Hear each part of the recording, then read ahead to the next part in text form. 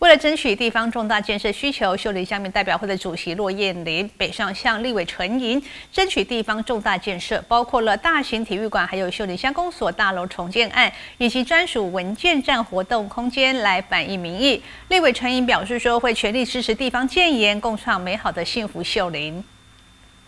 秀林乡民代表会主席骆燕林上任之后，听取地方建言。由于乡内拥有许多运动赛事和活动展演，常常要借用其他乡镇市来办理活动。另外，秀乡公所大楼新建的经费，若云日前前往立委陈英办公室说明，并且争取地方中的建设。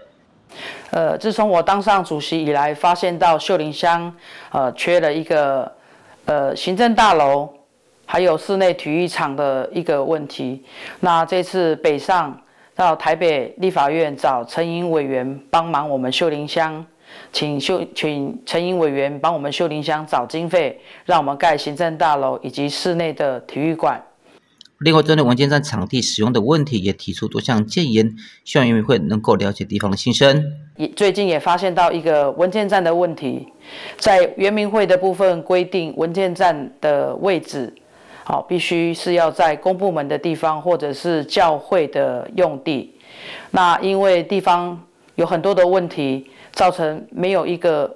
很大的空间，还有一些位置，常常要跟民众争地方。所以这次上去台北，也请陈英委员帮文件站找个家，希望原民会能够修改一下那个文件站的条件，让位置能够在私人的房子里面。或者是放宽其他的一些规定，让文件站有一个非常适合老人家用的地方。